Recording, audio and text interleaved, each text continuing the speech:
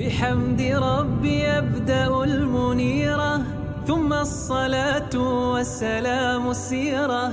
على نبي اسمه محمد أبوه عبد الله منه مفرد.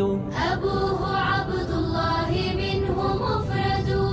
وجده شيبة عبد المطلب من نسل عدنان وأصله العرب وأمه بنت لوهب آمنة أجداده بين قريش كائنة أجداده بين قريش كائنة مولده في البلد الأمين عام قدوم الفيل للتبيين في يوم الاثنين ربيع الأول في ثاني عشره حسابا عولي في ثاني عشره حسابا عولي مسترضعا أتم مع حليمة أربعة الأعوام في غنيمة. وأمه عقيب ست ماتت وجده بعد ثمان وافت ثم أبو طالب عمه كفل وزار بصر الشام معه وارتحل. وزار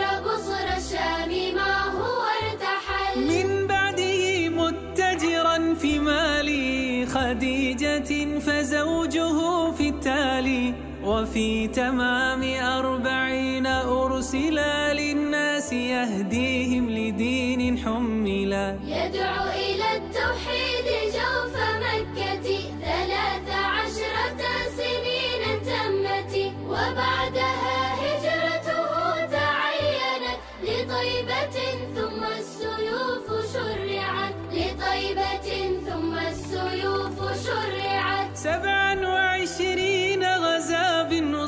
بالنصرة وموته في حد عشر الهجرة. أزواجه بعد خديج عشرة. سودة ثم عائش المطهرة. سودة ثم عائش المطهرة.